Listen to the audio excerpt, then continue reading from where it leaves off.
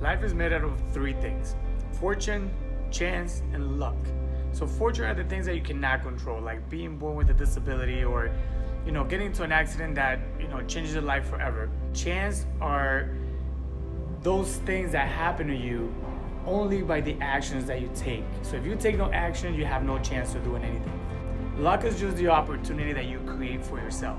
So these are the three things that I woke up today thinking about that have actually changed my life and that I, that I learned how to manage it and how to handle them a little bit better. So like I said, fortune are the things that you cannot control. So I kind of have to deal with them in a positive way and just kind of learn how to handle them and turn my adversities into opportunities in order for me to be able to take advantage of that fortune. Chance, I take a lot of action for me to have a lot of chances. So the more action I take, the more chances I get. If you take no actions, you will never have a chance to do anything that you want. So the more action you take, the more chance you'll get. And luck, luck is just creating opportunities for yourself.